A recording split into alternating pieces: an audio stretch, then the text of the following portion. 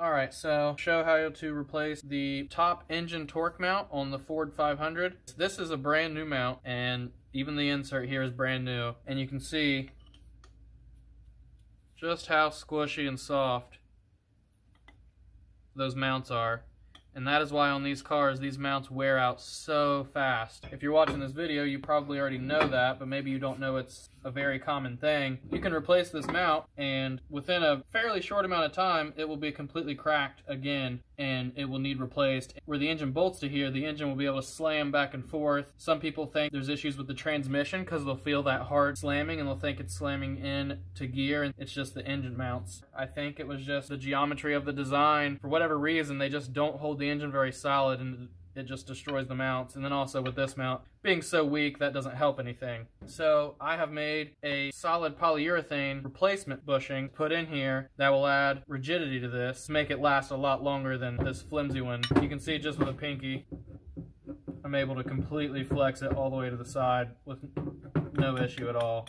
Super duper flimsy. So yeah, this, this polyurethane replacement bushing will greatly increase the uh, rigidity of this mount and prolong its life versus just one of these regular rubber ones. And I just wanted to show how to replace it for some people that maybe haven't done it before or aren't super mechanically inclined. Removing this whole mount is actually kind of difficult because getting to these bolts is quite a pain in the ass.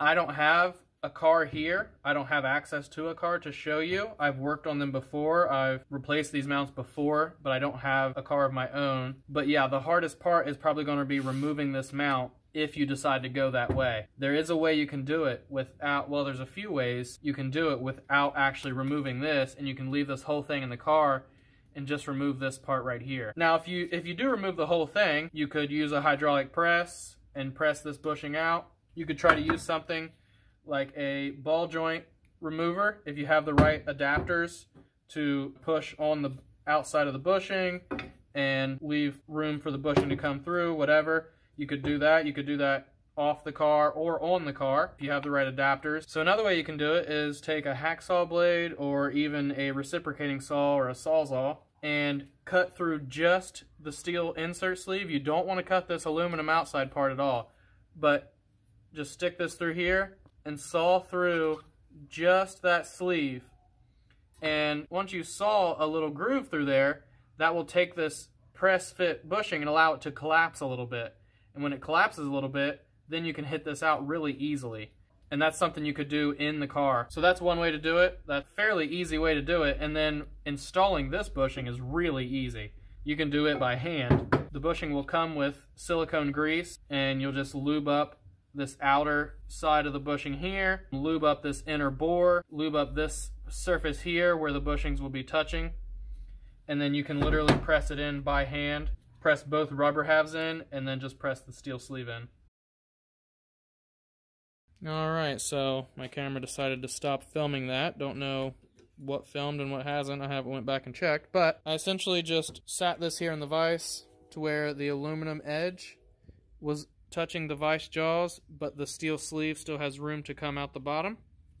And then I just used a hammer and a punch and went worked my way around the edge of this bushing and slowly hit it out of there. So that is one way that this could be replaced. If I didn't get it on film, also, you can use a hacksaw blade and stick it down through the bushing and cut through this outer steel sleeve. Don't cut out into the aluminum mount itself, but just through the sleeve. And once you cut through it, you'll allow that steel sleeve to collapse with the, the gap from the blade. It'll collapse a little bit, and that will re release the tension of the press fit, and you'll be able to hit this out a lot easier which if this was mounted in the car, if I left this in the car, that's probably what I would do. I would leave this all bolted up because these bolts are really hard to get to. And I would leave this all bolted up, use the hacksaw blade, cut through it, and then hammer it out really easily, and then just put the new bushing in by hand.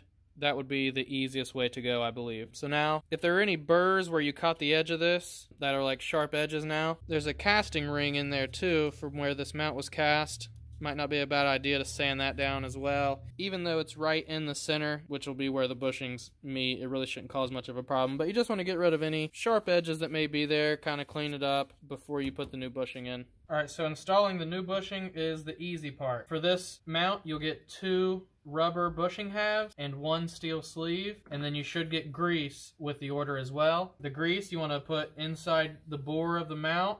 You want to put it here on this edge and then the same on the other side and then you want to grease all of these outer edges of the bushing where it will slide in there. You want to grease the face of it here where the bushings will touch each other inside there and then you really want to make sure you get some in this inner bore here where the steel sleeve goes through, and that's the same for both halves. I'm not going to grease this one up because this is just as a demonstration, and this is still a good bushing that can be sold.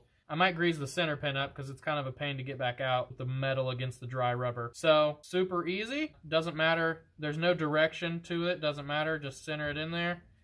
These bushings are directional where they have this slot and you want to make sure that slot is like to the front of the car and the back of the car. I purposefully used this size of steel tubing so that it's a little larger than it needs to be so that you still have some room in there for the bolt to move a little bit so you can center it just like you can with this mount. And this is aluminum in the center of this one where this is a steel sleeve so it's stronger as well. So one bushing half in there, completely seated.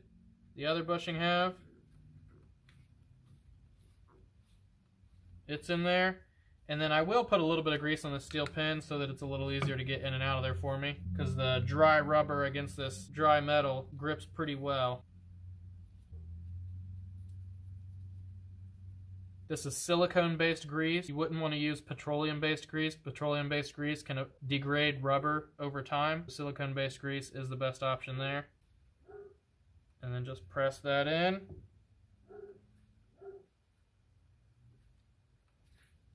until it's flush, and then there you go.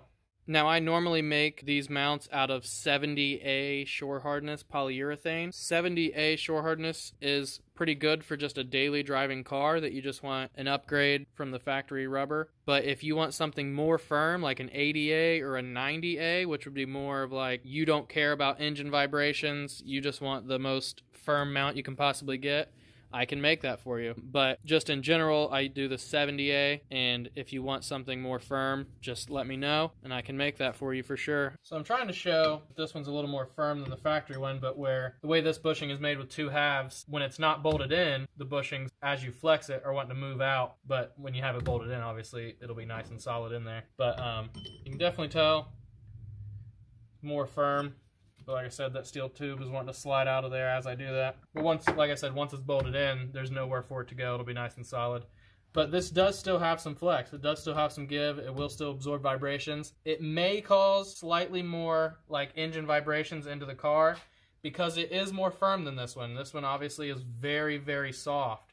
So at an idle, this one, when it's brand new, is great. It sits there and it absorbs all the vibrations because it's super soft.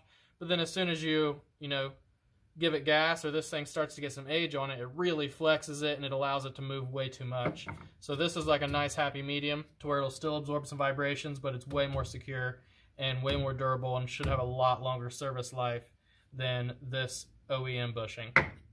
And there you go. Now you've got a brand new solid polyurethane mount for your car, which should be way more durable and hold the engine in place a lot better than that OEM bushing. I can make these in pretty much any basic color green, yellow, purple, blue, whatever. Just message me through my Facebook page, DRW Poly Bushings, or you can email me at drwbushings at gmail.com if you don't have Facebook, and we can uh, work out what collar you want, and I can get you one of these made and sent to you.